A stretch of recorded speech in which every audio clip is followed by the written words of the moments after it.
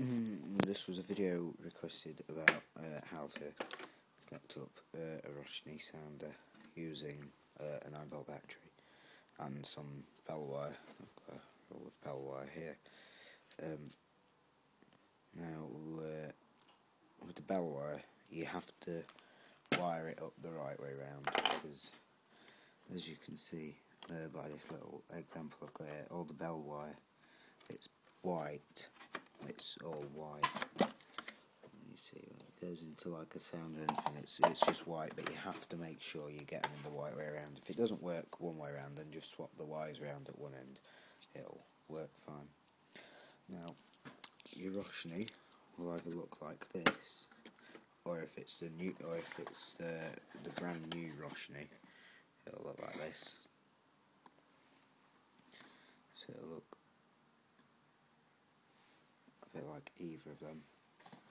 But it's basically the same principle. You've got your tone selection, your volume. Them two are your positives, them two are your negatives, and that's for your second tone. You don't really need to use them. Basically all you need to do is get positive Y, goes into that, and your negative Y just goes in there, and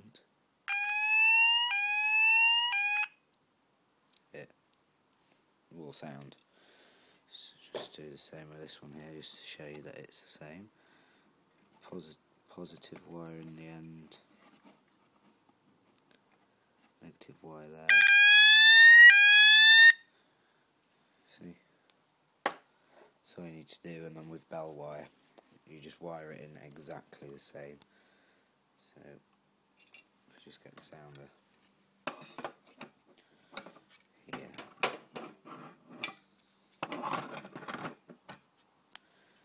Bell wire. One goes there,